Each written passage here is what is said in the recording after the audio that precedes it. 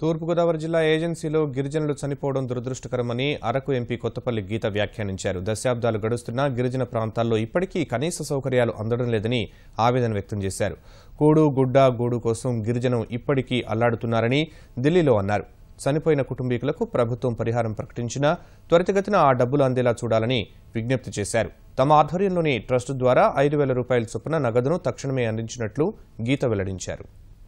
Water కంటమినేషన్ వలన ఇంతమంది ప్రాణాలు కోల్పోయారంటే ఈరోజు అన్నిటికన్నా మెయిన్ మనం ఫుడ్ వాటర్ షెల్టర్ ఈ మూడు కూడా ఇవ్వలేని పరిస్థితుల్లో ట్రైబల్ ఏరియాస్లో ఉన్నాం అంటే చాలా బాధాకరమైన విషయం. ఇరవై మంది ప్రాణాలు కోల్పోయారు. అలాగే ఇంకొక ఇరవై ఆరు ఇరవై ఏడు మంది మారేడుమెల్లోను మరియు రంపచోడవరం హాస్పిటల్స్లో ఉన్నారు. మినిమం ఎమ్యూనిటీస్ పెట్టుకోవడానికి కూడా వారి దగ్గర డబ్బులు లేని పరిస్థితి ఉంది.